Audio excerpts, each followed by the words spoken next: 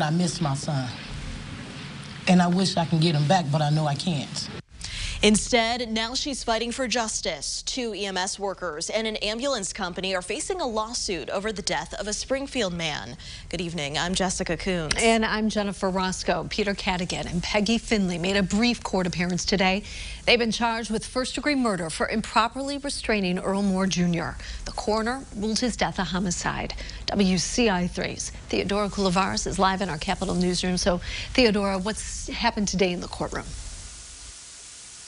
Well, Jennifer, Cadigan and Finley were in and out fairly quickly.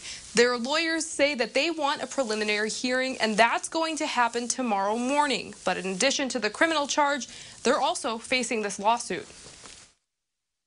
My heart hurt because I ain't gonna never see my son no more, ever.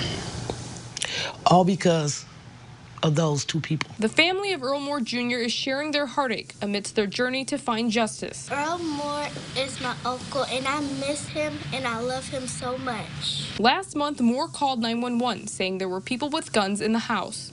But when Springfield police arrived, they say someone told them Moore was experiencing hallucinations from alcohol withdrawal. He had a struggle, but he was working through them for the family, for our family's sake. He deserved help and empathy. Instead, he was met with brutal restraints and deprived of the ability to breathe. That's when Peter Cadigan and Peggy Finley were called to help. Police body camera footage shows what happens next. Sit up! Sit up! Now! Finley can be seen in the video yelling at Moore to stand up. Earl, sit up. She didn't even know Earl, but she act like she knew him, calling his name and dragging him like that. Cadigan and Finley placed Moore face down on a stretcher with restraints. The Sangamon County coroner says Moore died of asphyxia. They tied him down like some kind of animal mm. and killed him. My baby suffocated mm. because of their actions and then their interaction. When you look at that video, the reason it's so shocking yes. is because they offer Earl no consideration.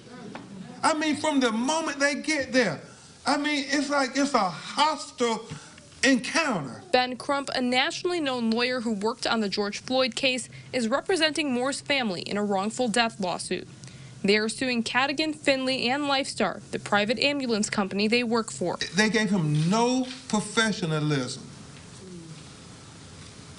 no humanity. Finley's lawyer doesn't believe the EMS workers committed a crime. I've never had a case that I believe involves non-criminal actions um, turned into a first-degree murder charge.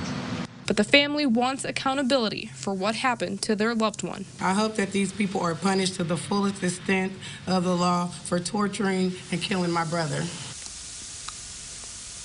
The lawsuit doesn't specify how much the family is suing for, but they are seeking damages including physical pain and suffering, mental anguish, and funeral and burial expenses.